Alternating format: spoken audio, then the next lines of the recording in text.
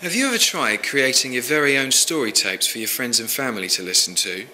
All you need to do is take a story you know, Or make one up yourself? get hold of a tape recorder, And use the internet to find sound effects for your story?